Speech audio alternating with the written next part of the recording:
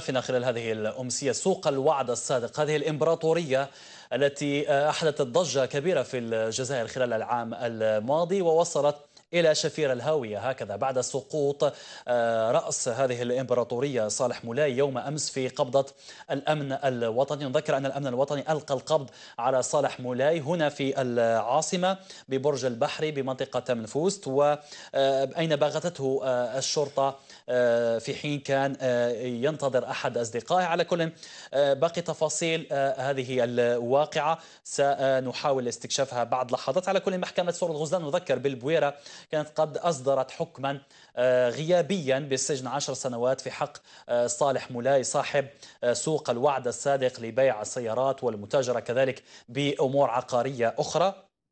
أذكر أن تلفزيون النهار كان قد استضاف آه، في يوم من أيام آه، على ما أتذكر قبل آه، حوالي العام ونصف أو حتى عامين صالح مولاي في أوج يعني ازدهار هذا السوق الذي خلف حديث كبير في الجزائر عن طريقة بيعه وشراءه للسيارات وكذلك متاجرته في هذا الشق الهام من التجارة في الجزائر تجارة السيارات. على كل نحاول معرفة جديد هذه القضية مع الأستاذ جمال العواري ممثل تنسيقية ضحايا سوق الوعد الصادق.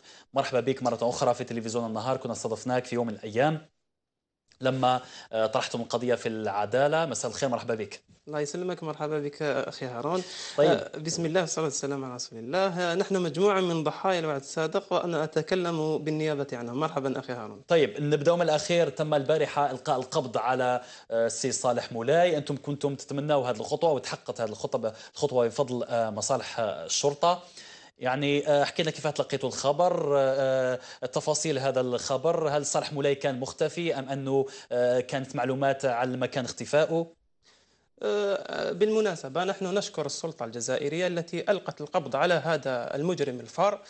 آه، ثانيا أذكر بالنسبة للمتهمين الآخرين هم آه، في لواد الفرار. ولا يجب أن يكونوا يعني فارين.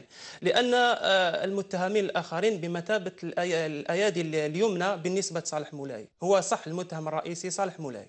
ولكن له أيادي يم... آه، آه، بمثابة اليد اليمنى يجب عليهم أن يحاكموا كما حكم هذا المجرم طيب هذا الأيادي اليمنى التي تتكلم عنها مدرجة في القضية هل تم محاكمتهم أم ليس أكيد بعد؟ هم هم في أسمائهم مدرجة في القضية. مدرجة ومتهم هم في حالة فرار كذلك. وهم كذلك في حالة فرار نعم.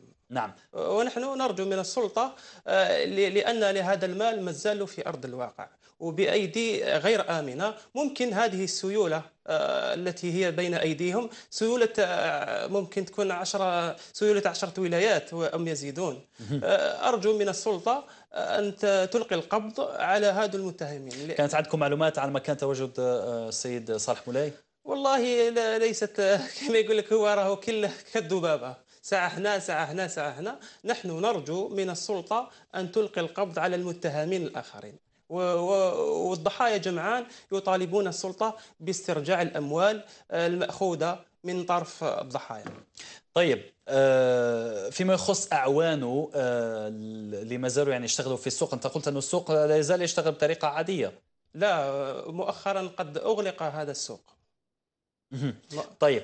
أه، أه، أه، نصل إلى نقطة هامة يعني فيما يخص هذه القضية. أنتم الوقت اللي وضعتوا القضية في العدالة ورفعتم شكوى ضد صالح مولاي كان في ذلك الوقت هو يعدكم أنكم تسترجعوا أموالكم. نعم هذه كلها وعود كاذبة بالنسبة لصالح مولاي وجماعته. كان مؤخرا عنده واحد سبعة أشهر أم ثمان أشهر آه، تزعم أنه من يريد أن يسترجع أمواله عن طريق القضاء فهو واهم فأقول له أنت التي وهمت وأخذت أموال الناس بغير حق. آه، فأقول أذكر يعني السلطة أن تلقي القبض على المتهمين الآخرين فإن المال آه، تاع الضحايا هم عندهم وأرجو من الله عز وجل أن يرد إلينا ضالتنا. طيب فيما يخص آه، القضية التي هي مبرمجة يوم السادس والعشرين أكتوبر إن شاء الله نعلم أنه القضاء حكم على صالح مولاي بعشر سنوات وهو في حالة يعني آه، فرار كان حكم غيابي. ماذا تأملون من القضاء؟ يعني وماذا تأملون من جلسة السادس والعشرين نوفمبر إن شاء الله؟ هي من الجلسة القادمة بإذن الله.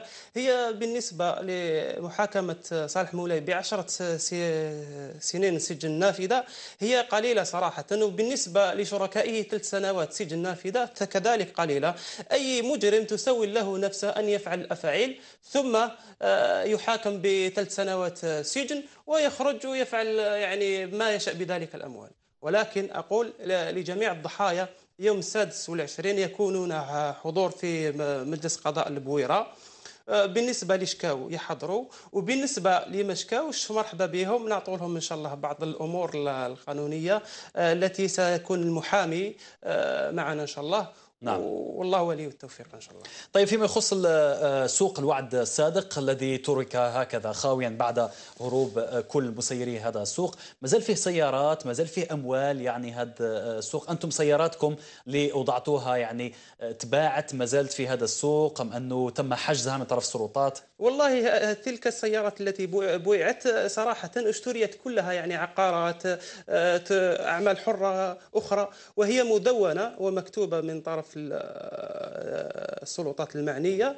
آه، بالنسبة للعقارات نحن نرجو من القضاء الجزائري أن يجسد في أقرب الآجال على أرض الواقع. بالنسبة للعقارات وبالنسبة للسيارات بالنسبة للسيارات فقد بوعت وذهبت يعني سيولتها إلى العقارات.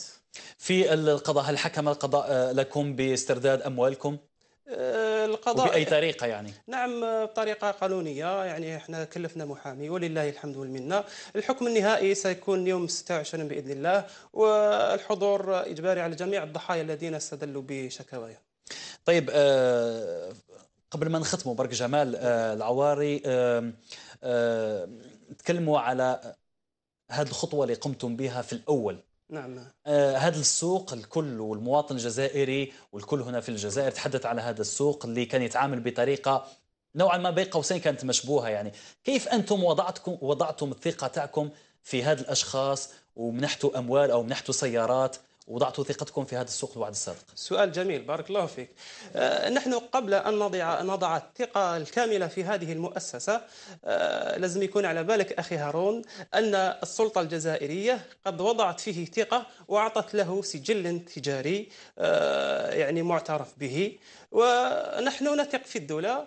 لكن في تلك الفترة كانت فيه تحقيقات حتى أنه أنا أتذكر جيدا مديرية التجارة لذات الولاية البويرة يعني باشرت في تحقيقات على آه، آه، طريقة يعني أو بيع بعض السيارات أو طريقة تعاملات تجارية كانت مشبوهة. وحتى وزارة التجارة أرسلت لجنة للتحقيق على ما أتذكر خلال تلك الفترة. كان كلام وكان شبهات حول هذا السوق وفيه الكثير من الجزائريين وضعوا ثقتهم في هذا السوق يعني. وهو يستحال أن يفتح يعني سوق سيارات آه، بدون يعني موافقة من السلطة. يعني يستحال ذلك. نحن آه، طالبنا يعني بطريقة طريقة قانونية باسترجاع الأموال وبالنسبة لصالح مولاي قد تم القبض عليه ونحن يعني في القضاء لدينا ثقة كاملة في القضاء. آه، نحن لا نريد يعني أي شيء. وإنما نريد الاسترجاع الأموال فقط أموال الناس المنهوبة من طرف مؤسسة الوعد الصادق.